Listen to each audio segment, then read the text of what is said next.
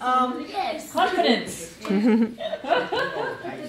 all right. So first of all, we discovered that we've got um, things in the office. We've got quite a number of issues, right? So we are dis- we discovered that, and then um, it's going through our head. What can we do? How do we fix it? And so on. Then we realize that we need to empathize. Yes. right? So therefore, we need to understand the whole situation first by looking at the customer journey, mm-hmm. and then if we swap our glasses, we might see the customer's point of view, right? So then, okay, we try to walk in our customer's shoes. Mm-hmm. We might realize exactly what is the problem and what needs to be fixed, and then we ask ourselves, how would we like it if, you know, turn around. The mouse did that to us.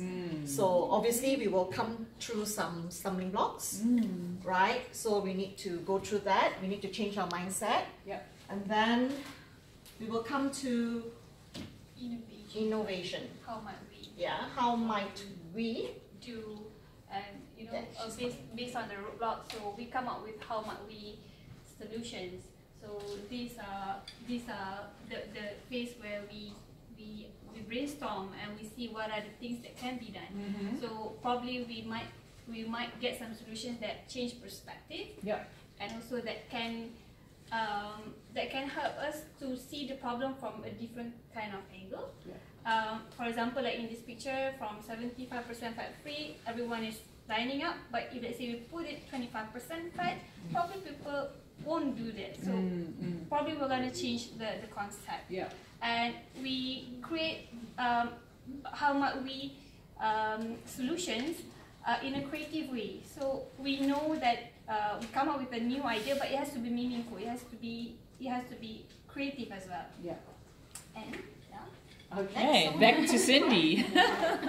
Go ahead. Oh, So we begin to uh, ideate Mm. Yeah.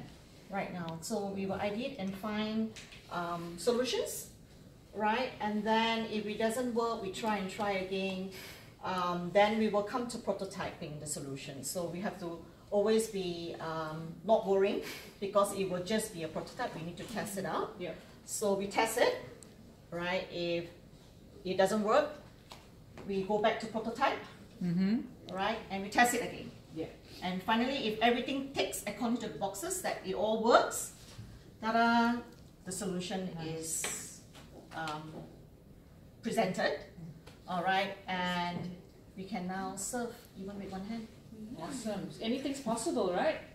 Awesome. Well done, guys.